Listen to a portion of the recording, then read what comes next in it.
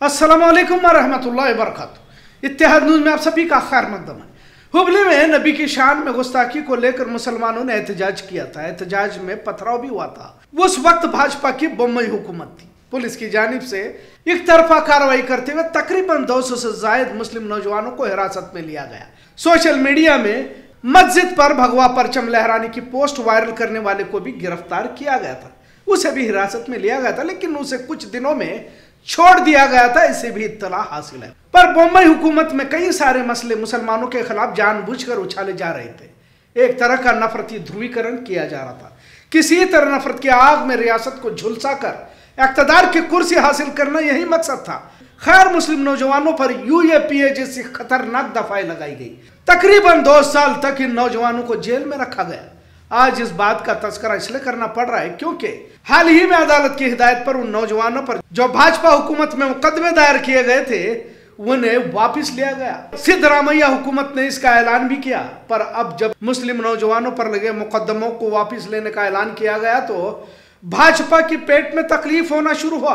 भाजपा इस पर सियासत करते देखा जा रहा है। मुसलमानों की हिमायत में इन मुकदमों को वापिस लिया गया कहते हुए इस फैसले की मुखालफत कर रही है, और एहतजाज के मूड में आई है, और एहतजाज करने के ऐलान कर रही है, और मुकदमों को वापिस न लिया जाए की मांग कर रही है। आज इस मौजू पर बोलना इसलिए भी ज़रूरी हो जाता है, क्योंकि मुसलमानों की कैफियत तो देखिए कि क्या हालत बनते जा रही है। हुकूमत किसी की भी हो, लेकिन मुतासर मुसलमानों को ही होना पड़ता है। ये फिर से एक बार आपके सामने आ चुका है। मुस्लिम नौजवानों पर पहले तो यूएपीए जैसी खतरनाक दफाएँ लगाना ही गलत था। और गरीब मजदूर पेशा मुसलमानों को यूएपीए के तहत तकरीबन डेढ़ से दो साल तक जेलों में कैद करना ही अपने आप में जुर्म था। कांग्रेस की हुकूमत बनने में मुसलमानों का अहम किरदार होने के बावजूद मुस्लिम समाज मुश्किल दौर से ही गुजर रहा है कह सकते हैं। आज भी टू बी रिजर्वेशन जो भाजपा ने रद्द किया था कांग्रेस की हुकूमत में बहाल नहीं किया गया, जबकि वादा किया गया था कि अगर हुकूमत कांग्रेस की आती है तो उसे फिर से बहाल किया जाएगा। खैर, कई सारे मामले हैं, पर अब जब दो साल के करीब तक जेलों में रहने के बावजूद मुस्लिम नौजवान रिहा होते हैं, कांग्रेस हुकूमत की कैबिनेट में फैसला लिया जाता है कि मुकदमों को रद्द किया जाए, और खास तौर से अदालत के फैसले के बाद ऐलान भी किया जाता है। और ये ऐसा कोई पहला मामला नहीं है। इससे पहले भाजपा के दौर में पूरे मुल्क की सतह पर जहाँ भी भाजपा की हुकूमत है, ऐसे फसादियों को आज़ाद छोड़ दिया जाता है, जो बजरंग दल और आरएसएस जैसे तंजीमों से जुड़े हुए हैं। इसके बावजूद एक हंगामा भाजपा की जानब से कर्नाटक में बर्पा किया जा रहा है। कांग्रेस मुसलमानों की हिमायत कर रही है और दंगाइयों के मुकदमे रद्द कर रही है। वही दूसरी ओर सबसे ज़्यादा फसादात में पेश पेश रहने वाले बजरंग दल, राम सेना, गोरक्षा के नाम पर, मुस्लिम नौजवानों को पीटने की वारदातों को अंजाम देने वालों पर हमेशा भाजपा हुकूमत मेहरबान रही है।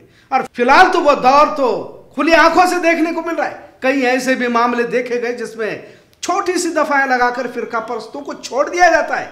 यह महज कर्नाटक की बात नहीं है, बल्कि पूरे मुल्क में इसे देखने को मिल भी रहा है कि जुर्म करने वाला अगर मुसलमान है तो मामले को इतना बड़ा चढ़ाकर पेश किया जाता है ताकि उसे किसी तरह की रिहाई ही नसीब ना हो। वही फिरका परस्त और हिंदुत्व सोच फ़िक्र का कोई संगी है तो रिहाई के बाद औधों से नवाजा जाता है। बलात्कारियों को रिहा करके फूल मालाएँ और मिठाइयाँ तकसीम की जाती है। अब तो मुसलमानों के खिलाफ जितना बोलता है, या किसी फसाद में वो शरीक हो जाता है। तो गोया उसे बहादुर, शूरवीर या फिर देशभक्त कहते हुए लीडर बना दिया जाता है। एमपी एमएलए तक और कुछ योगी जैसे वज़ीर आला भी बन जाते हैं और वज़ीर आज़म भी बने हुए हैं। इसे इस मुल्क की बदनसीबी ही कही जा सकती है, मुसलमानों की तनजुली कहा जा सकता है। वैसे तो सैकड़ों मिसालें दी जा सकती है, लेकिन 2013 से 2018 के बीच जितने भी मजहबी तशद में मुलविस हिंदुत्ववादी अफराद थे, इन्हें भाजपा हुकूमत की जानब से मामले को वापिस लिया गया। कुल तीन सौ पचासी मुकदमों में दो हज़ार से जायद फिरका परस्त अफराज शरीक थे, एक हज़ार से जायद जुर्म की वारदातों में मुलविस थे। इसके अलावा मुकदमों को वापस लेने का फैसला लिया गया।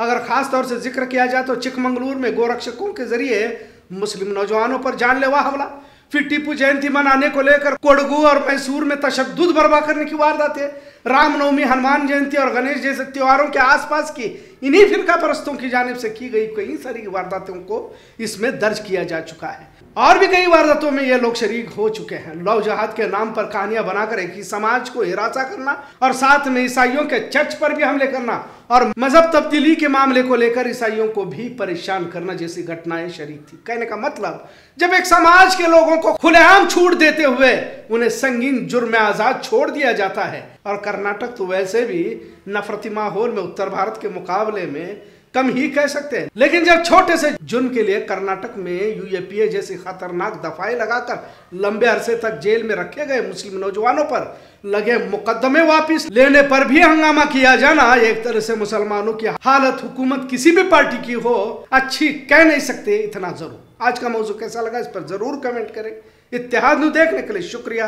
अल्लाह हाफिज।